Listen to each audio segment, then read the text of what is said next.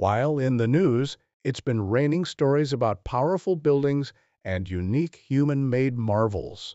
Let's begin this episode focusing on some of the tallest and most fascinating skyscrapers around the world.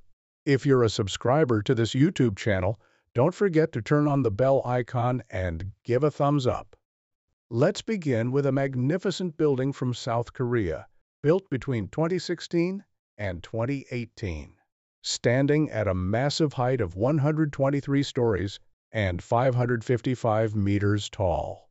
It features offices, hotels, observation decks, and even luxury apartments. Next up, the famous Ping An Finance Center in China. Construction started in 2009 and it became one of the tallest buildings in the world with over 4.68 lakh square meters of space. In third place is the iconic Makkah Royal Clock Tower in Saudi Arabia.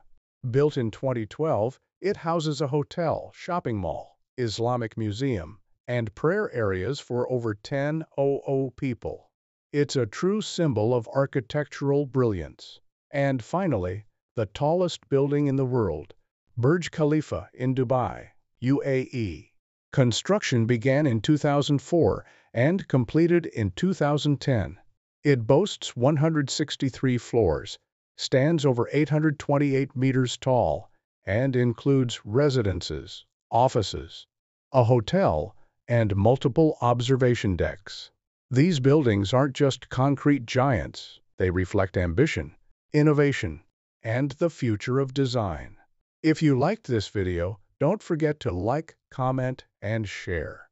Thanks for watching.